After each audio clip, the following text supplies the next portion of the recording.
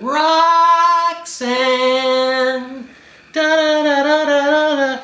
Headlight. 6.30 p.m., Tuesday, November 1, 2010, interview room 3. Please state your name for the record. Me?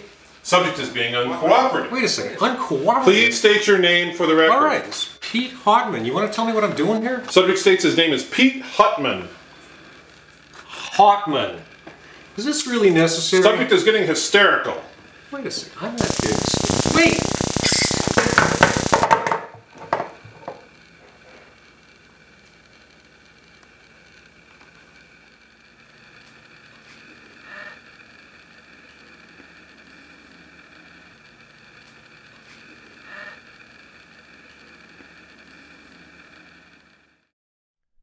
I'm a writer, not an actor.